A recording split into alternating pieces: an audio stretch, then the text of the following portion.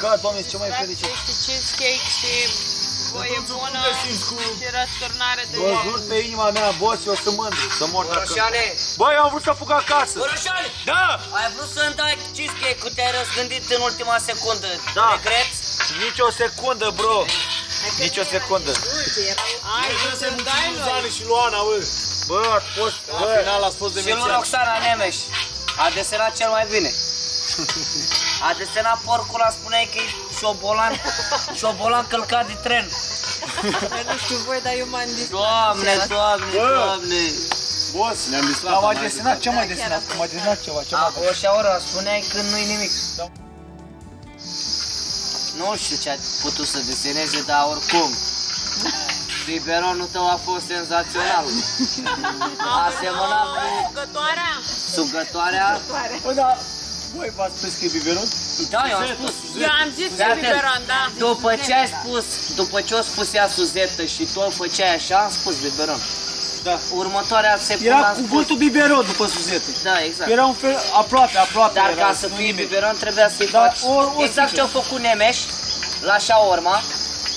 Deci, șaorma lui Nemeș cu, cu sugătoarea ta era biberonul perfect. Bă, deci nu mai pot.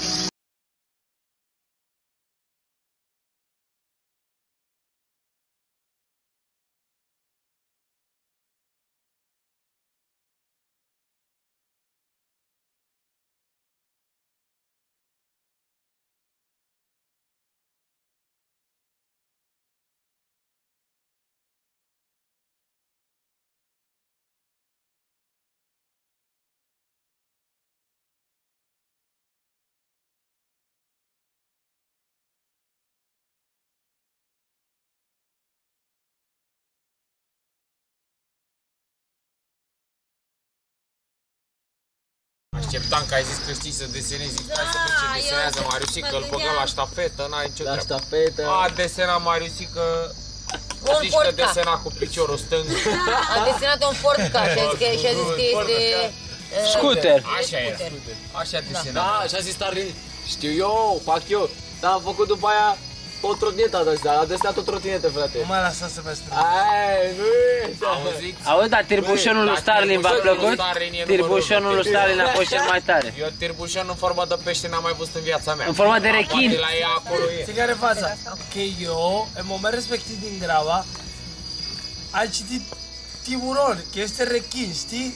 Nu știu ce naibii, mi-am gândit eu în spaniol și nu m-am citit. La nu un m-am- joc în român. Exact.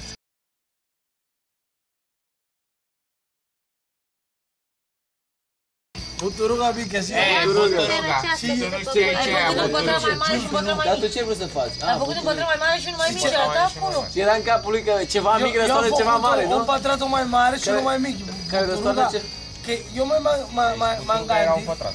nu, eu m-am m-am gândit că o buturuga era cum ar veni o, o chestie mică, un, nu Ce- știu. Ceva mic care Dar vreau răstoară. să Da. mai întreb o dată pe, pe Stalin. Stalin, ai zis că acasă mănânci, eu că mănânci. Că bei în fiecare seară vin.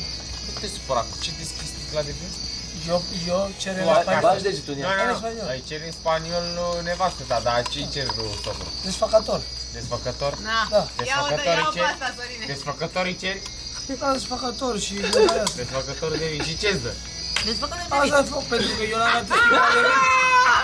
Dacă când îi cer desfăcătorul de vin, nu vine cu trei pisici? Respectă. Că tu, tu, băi, frate, băi, băi, băi,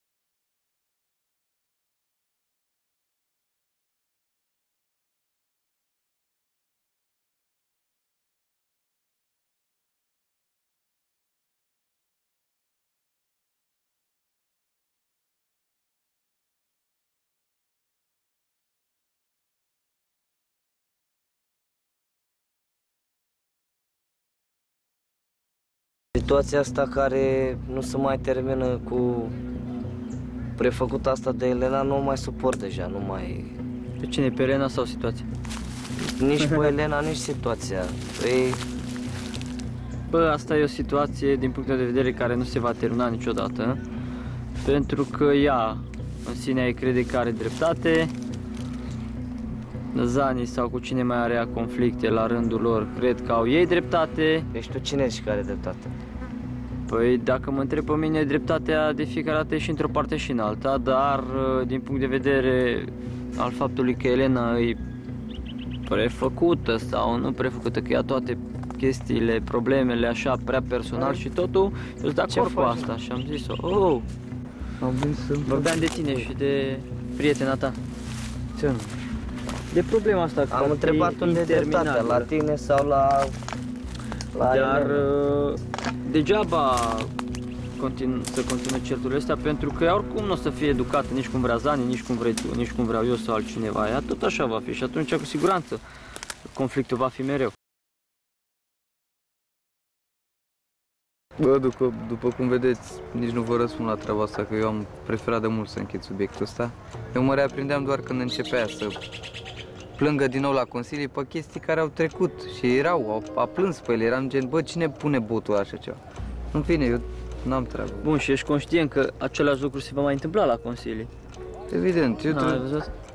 Da, mă, pentru mine oricum, uh, am spus și ieri, s-a încheiat uh, discuția asta, Zani, Elena, nu-i mai dau importanță unei ființe care n-are niciun rol în emisiunea asta din punctul meu de vedere.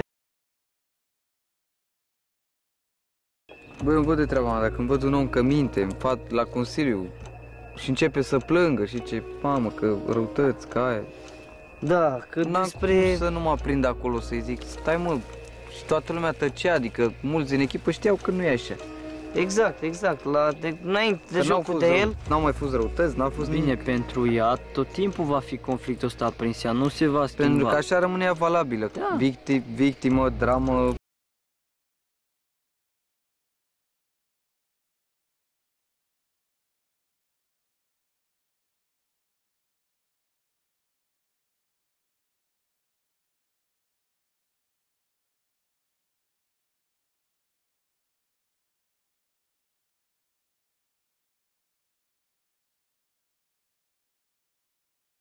o zi importantă pentru noi toți.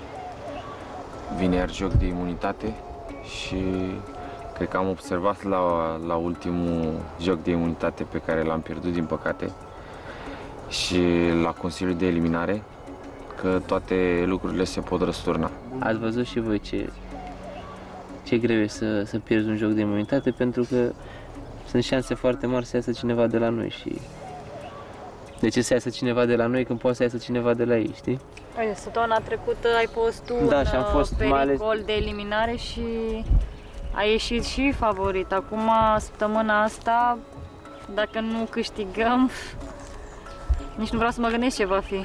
Da, nu, tre- asta e ideea, că trebuie să câștigăm. Păi da, Și ar asta e fi- important, ar să fi, câștigăm. Ar fi ideea să le câștigăm pe amândouă. Ideea e că n-aș vrea să ne pierdem noi ăștia vechi, nu făcând o strategie de a vorbi cum să votăm sau ceva, ci făcând o strategie de a nu mai pierde jocurile de imunitate prea curând. Bună Iar mai strategie. departe, mai departe cu siguranță vom mai și pierde. Dar Clar. să ne focusăm foarte tare pe treaba asta, că e destul de dureros să pierdem pe unul dintre noi. Dacă am pierde, Doamne ferește, pentru mulți din echipă ar fi mult mai ușor să voteze unul dintre cei noi, Da, da, ca să se e- păstreze e la grupul mai vechi, cum ar veni.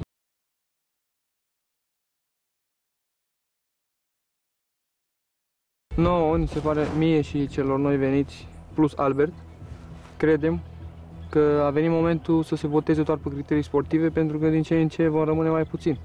Și aia care vom rămâne ar trebui să fim ăia care dau re- cele mai bune rezultate pe trasee. Iar ceilalți au decis să voteze pe criterii sociale. Ceea ce eu și cei noi nu vedem un lucru normal. Da, ei vor să se păstreze gen așa, cred că pe principiul ăsta se va face. Da, Cei asta va vechi veni se ce- păstrează cele mai, cele mai să ajungă mai variante departe. O să fie cei noi intrați. Da. Că deja din ăștia vechi au o relație mai... uh, Mai strânse între mai ei. strâns. Și o să aibă și o scuză că Da. voi sunteți uh, abia O ați să se bage venit. două, trei motive așa la mișto și ăștia noi o să intre la vot. E oricum, gen, dacă, zicem, chiar dacă aș aduce puncte și ar trebui să voteze, cred că la un, un anumit punct o să mă simt undeva vizată, cred eu. Cel puțin asta o simt, chiar dacă gen aș aduce puncte și mă descurc și pe traseu și în camp, dar se va găsi câte un motiv ca să te voteze, asta e Da, clar. treaba pentru că, da, nu se votează neapărat sportiv. Asta am Da. văzut-o și în trecut. De exemplu, oamenii care aduceau cele mai multe puncte la noi în echipă erau cei mai votați. Punctul meu de vedere rămâne același care era și înainte. Eu nu voi lua verigile slabe în vizor, să spun așa. Uh, Luăm foarte mult, din punctul meu de vedere, iau partea socială pentru că am mai demonstrat încă o dată treaba asta că au fost persoane care aduceau foarte multe puncte echipei, dar aduceau o stare foarte negativă și în momentul în care am scăpat de acele persoane, noi am început să funcționăm, fără oamenii noi, adică noi, aceleași persoane, noi am început să funcționăm și să câștigăm. Așa voi fi și de acum înainte.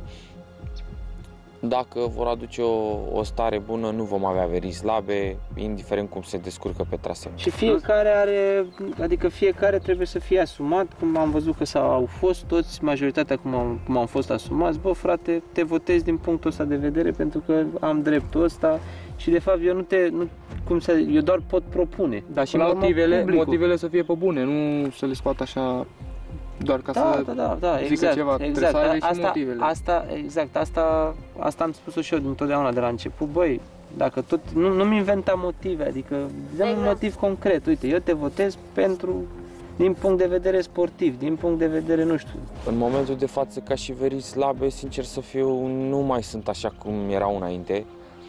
Atât de slabe încât să se vadă diferența între o verigă slabă și unul care este foarte, foarte bun pe traseu. Dar în continuare consider că Albert nu, nu și-a revenit. Albert este deconcentrat. Uh, nici în camp nu pot să zic că s-a integrat în echipă. Toți cei care l-au votat pe Albert au zis că din motive uh, sociale, Sociale. și sportive, dar mai mult sportive, că n-a adus puncte, că nu știu ce. în săptămâna în care am Dacă adus mai era- multe puncte decât... Dacă era vorba de uh, criterii sportive, de ce nu l-au votat pe Musti? Exact. Pentru mine Musti era, mă înțelegeam bine cu el, social era foarte ok, dar pe partea sportivă nu mi se părea că făcea mare lucru. Și n-am vrut să eu spun la nimeni, pentru că mi-era oarecum frică că săreau toți pe mine după aia și poate intram și eu la vot, fiind nou, poate plecam acasă. Dar uh, mă uitam la faimos și mereu îl alegeau. Adică ei considerau că Musti e o verigă slabă pentru noi. Eu nu am zis asta niciodată, dar și eu vedeam cam la fel, pentru că el mereu intra pe traseu și era ales minim de două ori și era ca și cum noi le dăm două puncte la faimoși. Aveau două puncte pe degeaba. În caz de pierdem, e mai ușor pentru ei să-l voteze pe el. Da. Cu motivele Ah, da. ce s-a întâmplat în trecut. Da. Nu că țin neapărat să scoată pe Albert. Le vine mai ușor să voteze. Da, oricum, eu sunt conștient de treaba asta, am spus-o și eu, adică sunt conștient că de fiecare dată de- când vom pierd, că nu pot să câștigăm la nesfârșit jocurile de imunitate, eu voi fi cel mai vizat, dar nu mi este, nu zic ca și cum mi-ar fi frică sau ceva. Votul meu o să like când o să cred că e cel, cel mai slab din echipă. Momentan nu cred treaba asta, chiar dacă Musti a plecat, tot nu cred că e cel mai slab. Da, Și, mersi. Doamne ferește, dacă o să pierdem, votul meu nu o să like, nu o să te votez. Mersi, mersi, Dar, pentru că ești asumat și păcat ești că cu toții de aici știm că vei fi, vei fi votat de alții. Și da, trebuie să tragem tare să nu pierdem săptămâna asta Da. niciun joc. Ideea e că, uite, o chestie pe care, care a fost spusă că să nu votăm influențat, dar mie mi se pare că atunci când S-a votat. se votează, da, uh, majoritar, și a 5-6 voturi, atunci mi se pare că e influențat. E clar că jocurile de imunitate pentru toată echipa, nu numai pentru mine, sunt foarte importante, sunt cele mai importante, dar mai ales uh, pentru mine, pentru că e clar că eu acum sunt, am fost dat la o parte de anumite persoane din grup și sunt votat pe niște criterii câteodată ciudate, în opinia mea. Dar asta este, da, trebuie să, să câștigăm, pentru că doar așa ne putem, uh, mă, mă pot păstra și eu, să zic, în competiție și poate și ceilalți colegi, că e mult mai simplu să câștigăm ambele jocuri de imunitate și să dăm pe cineva să știm sigur că nu va pleca nimeni de la noi, decât să avem o șansă împotriva unui faimos care, na, e faimos. Hai să ne concentrăm pe joc și să Și mergem, energie pozitivă și să mergem bucurie. pregătiți, da? Bucurie de, de Ah. traseu. Hai la joc. Hai. Hai. Hai la joc. Care îmi dă și mie o mânuță? Hai noi amândoi. 1, 2, 3 și... Oh! Hai. Bine. Hai să vedem la joc. Haide, Gata, Hai. gata cu vorba, haideți cu fața. Pregătit Hai. de joc.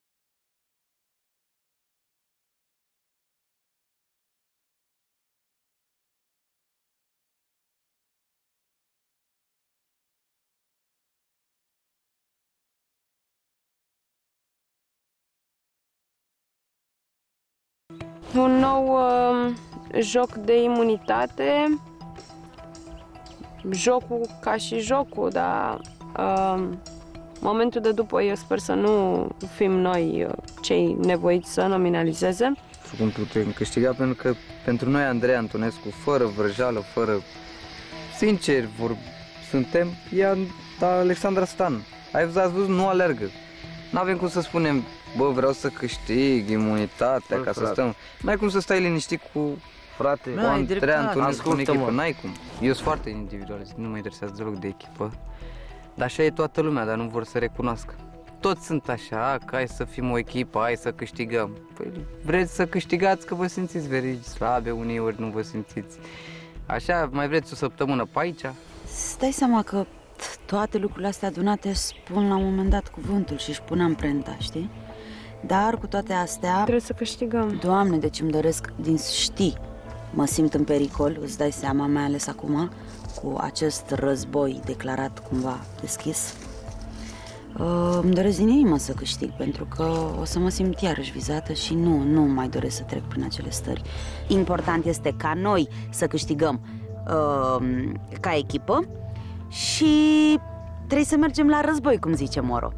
În cazul în care vom pierde, pf, va fi foarte dificil. Te da, hai să zicem, îți două puncte pierdute.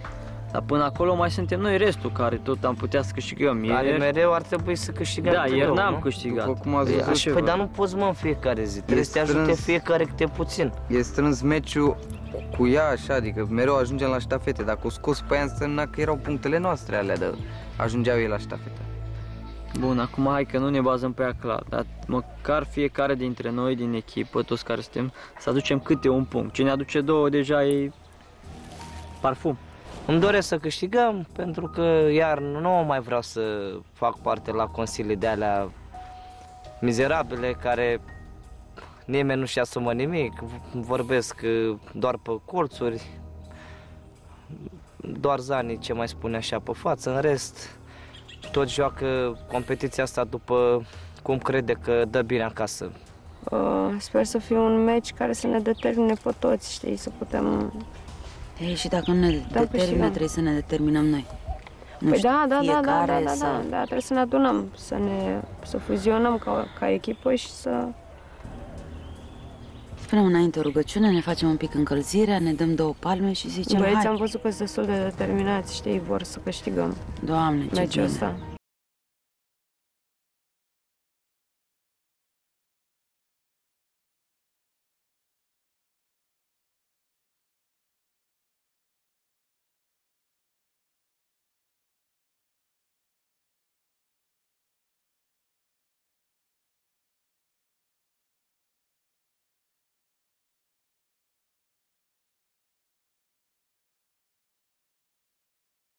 Important este să ne echilibrăm ca echipă, să dăm dovadă de fair play, să ne ajutăm și să ne sprijinim la joc și, după cum spuneam, să câștigăm imunitatea, că de fapt asta este cea mai importantă.